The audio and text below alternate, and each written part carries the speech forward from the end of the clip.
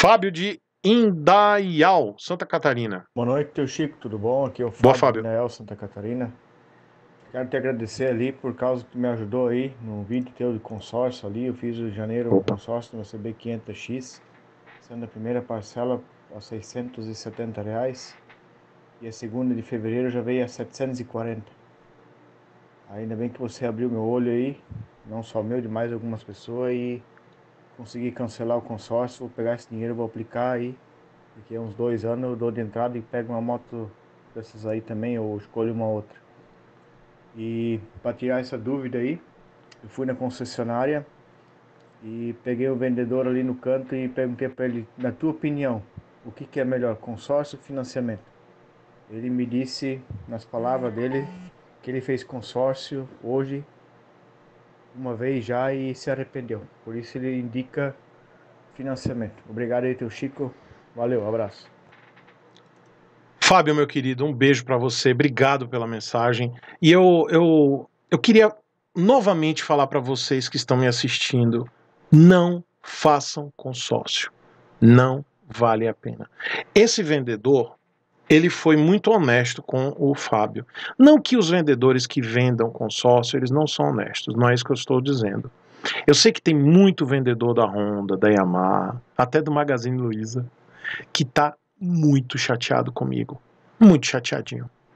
Mas é, teve até um, um, um, vendedor que foi muito educado. É, ele, não, ele não reclamou comigo especificamente de venda de consórcio, mas sim com um vídeo que eu critiquei as motos 160 cilindradas da Honda. E eu quero mandar um beijo para esse vendedor, que eu, eu, deixa eu tentar lembrar o nome dele, que ele foi extremamente educado comigo. Eu vou, eu vou, enquanto eu estou falando aqui para vocês, eu vou tentar achar o nome dele. E eu coloquei no vídeo, exatamente no vídeo da, tá aqui, no vídeo da Honda, eu coloquei, é, o nome dele é Cláudio, né? E aí eu não vou dizer o nome da concessionária que ele trabalha, mas eu quero mandar um beijo pro Cláudio. Ele foi muito educado comigo. E, e ele é de Santa Catarina. E eu vou ler aqui a mensagem dele. Existem muitos vendedores que são honestos, tá? E que eles abrem os olhos para o cliente e eles. É, é, até o, eu vou lembrar de uma conversa que eu tive ontem com o Rafael, da RL Motos. O Rafael, proprietário, né, sócio proprietário do Daniel, eles são irmãos. E o Rafa, sócio proprietário da, da RL Motos, ele trabalhou já na concessionária, em concessionária, acho que não sei se foi Honda ou Yamaha. E ele disse o seguinte: é, tem diferença de consultor de vendas e vendedor. Eu acho isso meio clichê, sabe? Mas ele me explicou. Ele disse que o consultor, ele realmente, ele faz uma consultoria para quem está comprando um produto, no caso, uma moto. Ele vai lhe mostrar qual o melhor para a situação daquela pessoa naquele momento. E não simplesmente dar uma de vendedor e empurrar um produto de qualquer jeito para o cara que. Ele não, o vendedor, né, na palavra crua, é, ele simplesmente ele está ali para poder vender, ganhar a comissão dele e pouco importa se o cabra que está do outro lado comprando tem o perfil de fazer consórcio ou o perfil de financiamento. Se ele pode se ele tem bala na agulha para fazer um financiamento e, e quitar a moto a longo prazo, a curto prazo, ou se ele tem um perfil mais de, de consórcio, se, se lascar e, e juntar dinheiro enquanto ele vai dar o lance. Ele está pouco se importando. Isso vendedor, isso falando de forma bem, bem clichê mesmo. Mas o consultor, ele vai sentar com o cliente e ele vai traçar uma estratégia com o cliente para entender o perfil e, e, vender o produto da melhor forma para o cliente, para que esse cliente ele volte no futuro e diga assim: eu quero comprar moto com aquele cara, que aquele cara ali ele me vendeu o melhor produto. E aí eu estou falando do o, o produto pode ser financiamento Honda, consórcio Honda, financiamento Yamaha, consórcio Yamaha. E aí é, eu quero agradecer ao, ao, ao Cláudio, né, que foi extremamente educado ele fez aqui, eu não, eu, eu não vou ler todo, porque realmente foi extenso, mas ele ele me chamou a atenção para eu tomar cuidado. É, ele dizia, eu vou só ler um trecho. Ele dizendo aqui, ele, e lembrando, o Cláudio ele foi muito educado. E eu deixei marcado no, no topo do comentário do vídeo que eu fiz. É, e o título do vídeo é Honda CG 160 e Bros 160. Não compre antes de assistir esse vídeo. E ele, num trecho, ele coloca aqui o seguinte: é, você atrapalha o negócio de várias concessionárias por uma opinião única e exclusivamente sua e de seus seguidores. Então peço que tome cuidado, e ele falou com toda a educação, né? É, e não num tom de ameaça. É, peço que tome cuidado ao postar um vídeo assim, pois você não é o dono da verdade e nem trabalha na Honda para saber a procedência dos nossos produtos. Se fui grosso, peço perdão. Então achei muito educado assim da parte dele. Da mesma forma que você tem uma opinião, eu tenho a minha. Pense nisso antes de atrapalhar um pai de família que precisa das suas vendas para levar comida para casa. Grande abraço. E aí, é, eu respondi ao Cláudio da seguinte forma. É, eu não sei se eu vou achar a minha resposta aqui, mas eu disse o seguinte para o Cláudio. É, aqui. Eu respondi o seguinte: Muito obrigado pelo comentário, Cláudio. Lembre-se que quando você vende uma moto Honda que pode quebrar ou fundir o motor, também pode prejudicar um pai de família que precisa dela para levar o pão. Meu caro, a verdade tem três lados: a sua, a minha e a verdade. O meu cuidado em postar um vídeo deste é o mesmo quando você vende uma moto Honda ao seu cliente.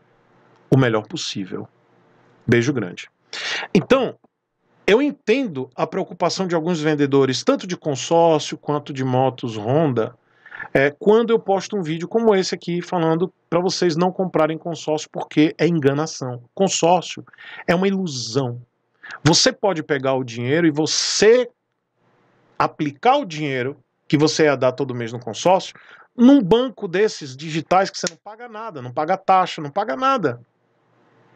Tá? Tem o Banco Inter, que eu fiz hoje, inclusive meu amigo Bruno Matoso me mandou um convite. Eu vou deixar, eu vou fazer um corte desse vídeo aqui e vou deixar na descrição. Eu vou botar o convite para você que está me assistindo do Nubank e do Banco Inter, que são duas fintechs, são bancos digitais. Então eu vou colocar no corte dessa, desse vídeo aqui, eu vou colocar na descrição dois links de convites para você baixar o Banco Inter, baixar o aplicativo, fazer sua conta, não paga nada, e do Nubank. E aí você pode pegar seu dinheiro, que você ia fazer o consórcio, pagando 300, 500 reais, como disse o Fábio, de Indaial, Santa Catarina, pagar os 500 pau que ele estava pagando no consórcio, ele pega esse dinheiro e aplica, ele bota lá dentro desse banco, que rende muito mais, não vou dizer, acho que no mínimo rende 100% do CDB. No mínimo. Então pega esse dinheiro e aplica lá. Você não fez o consórcio de, sei lá, 48 vezes, 72 vezes? Bota lá. Enquanto você está juntando lá, você pode juntar de outra forma, como se você estivesse pagando consórcio. A justificativa do brasileiro, ah, porque eu não sou, eu não sou é, o brasileiro que não tem educação financeira, aí diz, eu não sou disciplinado, eu não consigo guardar dinheiro. Pelo amor de Deus, gente. Pelo amor de Deus, eu não estou falando aqui com doente mental. Você não come bosta, meu amigo, minha amiga. Se eu botar um prato de bosta aqui, você não vai comer. Então, se eu digo para você, guarde o seu dinheiro porque você pode guardar o seu dinheiro, guarde o seu dinheiro, aplica o teu dinheiro. Por que, que você vai dar para uma outra empresa cuidar do teu dinheiro, que você nem vai ter lucro em cima disso? Pelo menos você aplica, dá para um banco, que o banco pelo menos vai lhe dar alguma lucratividade pequena, mas vai lhe dar. O consórcio não lhe dá nada. E a situação do consórcio, já já eu falo do, do vendedor. A situação do consórcio é que quando você precisar daquele dinheiro para uma emergência, você não pode tirar. Está preso. Enquanto numa fintech dessa, você pega quando você quiser. O dinheiro é seu. Você movimenta, você pega, você tira uma parte, se houver alguma necessidade ou uma oportunidade de você pegar uma moto usada ou uma outra, ou surgiu uma oportunidade, pega aquele dinheiro que você guardou, que não, você não foi tolo de aplicar no, no consórcio, e você usa. No consórcio, você só pode pegar o dinheiro quando acabar o consórcio. E se você for contemplado, você vai entrar no modo financiamento. Você tem que ter todos os documentos que um financiamento exige: comprovante de renda, nome limpo, às vezes fiador. Mais de um fiador, às vezes. Tem relatos de inscritos que precisaram de três fiadores, mesmo com o nome limpo, porque eles não tinham score. Então, guarde o seu dinheiro. E voltando, para a gente fechar, voltando para os vendedores. Eu sei que muitos vendedores estão chateados comigo, assim como o, o Cláudio ele, é, deixou claro que um pai de família precisa trabalhar para levar o pão, né? E que eu posso estar atrapalhando o trabalho desses pais de família que estão vendendo consórcio. Mas a gente vive num ecossistema, num sistema financeiro, econômico, que é uma selva, né? Um caga na cabeça do outro. Né? O sistema capitalista é assim: um caga na cabeça do outro. Vocês estão cagando na cabeça do cliente. O cliente não está cagando na cabeça de vocês. Mas eu tô cagando na cabeça de vocês vendedores, porque eu tô abrindo a mente dos clientes que você caga na cabeça. Então a situação muda. Então pensem nisso. Sejam consultores de venda, não sejam vendedores. Deem a possibilidade dos clientes de entender qual a melhor forma deles comprarem a moto. Seja no financiamento, seja no consórcio, que eu repito, não vale a pena. E aí vocês vão ter um cliente fiel comprando na sua mão, independente de onde vocês estejam vendendo a moto. Se é Honda, Yamaha ou qualquer outra marca. Pensem nisso. Mais vale você ter um nome e ser um, bom vendedor, né, consultor, do que simplesmente vender e não se importar com o teu cliente.